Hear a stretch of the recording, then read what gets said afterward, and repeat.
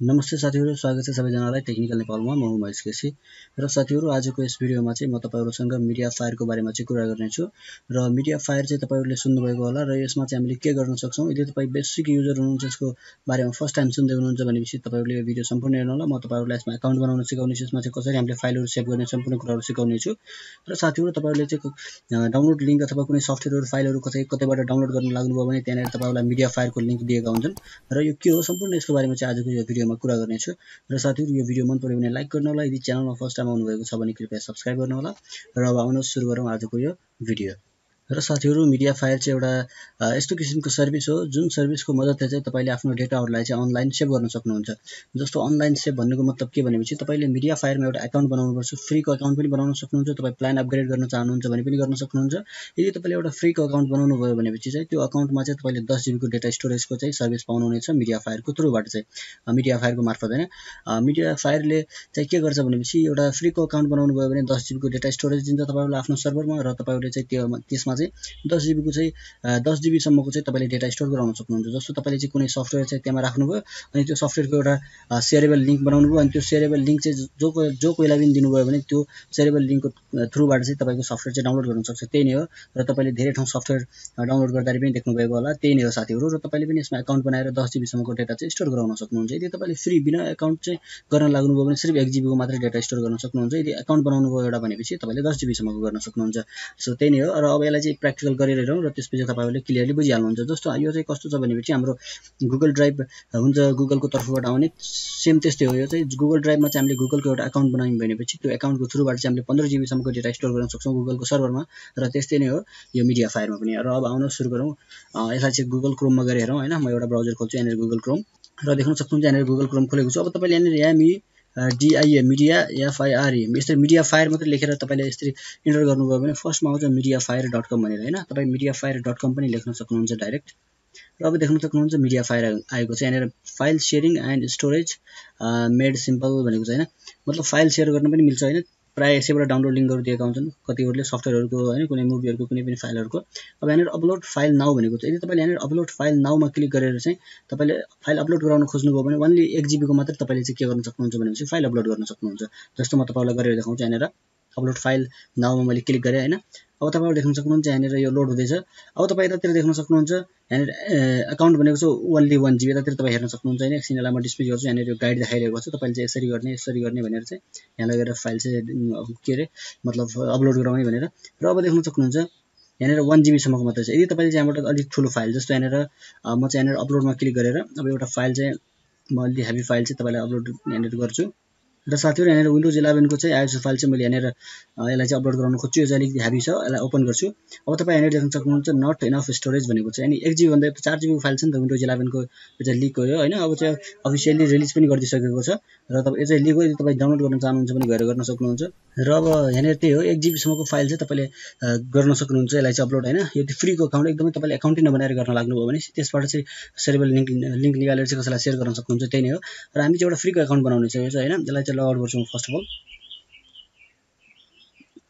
र देख्न सक्नुहुन्छ यस्तो आएको छ। अब चाहिँ हामीले एउटा एकाउन्ट बनाउँछौँ होइन? साइनअपमा क्लिक गर्छु। यदि तपाईँसँग पहिले नै अकाउन्ट छ त्यो कुनै अकाउन्ट बनाएर चाहिँ त्यसमा फाइलहरू सेयर गरेर राख्नुभएको छ होइन? मतलब अपलोड गरेर राख्नुभएको छ भने यहाँनिर लगइन गर्नु सक्नुहुन्छ। यदि साइनअप गर्नुभयो भने चाहिँ नयाँ अकाउन्ट बनाउन सक्नुहुन्छ। अब यहाँनिर साइनअपमा क्लिक गरौँ होइन? मैले यहाँनिर साइनअपमा क्लिक गरेको छु।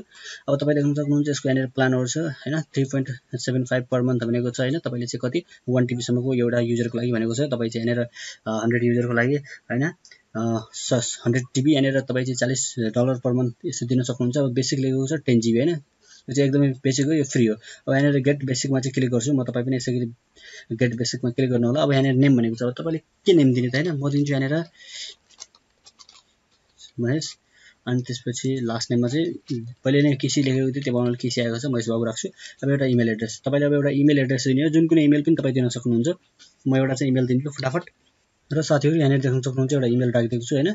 Babu Khatri thirty nine at the rate Gmail dot com एउटा यहाँनिर इमेल सर्भिस इमेल इमेल राखिदिएको छु गुगलको तर्फबाट आउने जिमेल होइन। तपाईँ चाहिँ जुन कुनै याहु आउटलुक जुन कुनै पनि राख्न सक्नुहुन्छ। र अब यतातिर पासवर्ड राख्नुहुन्छ। पासवर्ड चाहिँ के राख्ने भनेपछि साथीहरू यहाँनिर जुन पासवर्ड राख्नुहुन्छ होइन यो बाबु खत्रीको जुन पासवर्ड हो त्यो पासवर्ड राख्ने होइन। यसको लागि पासवर्ड राख्ने हामीले कतिपय ठाउँमा यस्तै मिस्टेक गरिरहेका हुन्छौँ। र यहाँनिर चाहिँ यो मिडिया फायरको लागि एउटा पासवर्ड राख्नुहोस् तपाईँले चाहिँ। साथीहरू देख्न सक्नुहुन्छ यहाँनिर एउटा पासवर्ड राखिदिइसकेको छ स्ट्रङ पासवर्ड होइन। र तपाईँले चाहिँ यहाँनिर नम्बर त्यसपछि क्यारेक्टर सम्पूर्ण कुराहरू एउटा मिलेको एउटा स्ट्रङ पासवर्ड राख्नु होला र त्यसपछि अब यहाँनिर creating media media fire why are creating होइन किन क्रिएट गर्दै हुनुहुन्छ भन्छ। पर्सनल एजुकेसन र वर्क होइन म चाहिँ एजुकेसनको लागि राखिदिन्छु तपाईँ जे पनि राख्न सक्नुहुन्छ।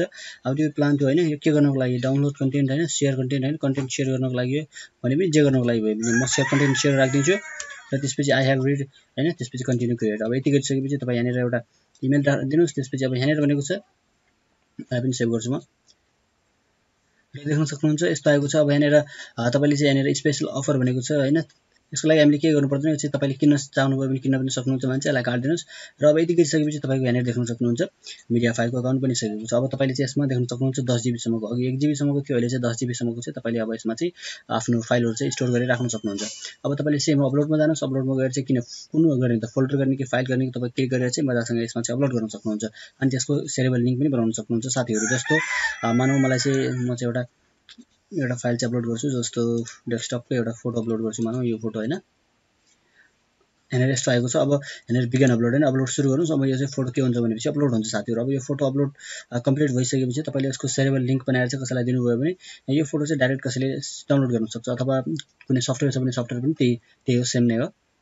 र अब देख्न सक्नुहुन्छ वान फाइल अपलोड भनिसकेको छ। अब यहाँनिर कपी लिङ्क भनेको सिधै यहाँबाट कपी लिङ्क पनि गर्न सक्नुहुन्छ सेयर लेखेको छ। अब यो सेयरमा जानुहोस् होइन? सेयरमा गइसकेपछि अब यहाँबाट यसको चाहिँ सेयरबाट डाउनलोड लिङ्क भनेको छ। अब डाउनलोड लिङ्क यहाँबाट यसरी कपी गरिदिनुहोस् यसको डाउनलोड लिङ्क होइन? अब यो डाउनलोड लिङ्क कपी गरिसकेपछि अब देख्न सक्नुहुन्छ अब तपाईँले चाहिँ कसैलाई दिनुभयो? मानव यो लिङ्क कसैले क्लिक गर्यो होइन? यो लिङ्क यस्तो आएको छ। अब यो लिङ्क कसैले क्लिक गर्यो भनेपछि तपाईँको यस्तो आउँछ देख्न सक्नुहुन्छ।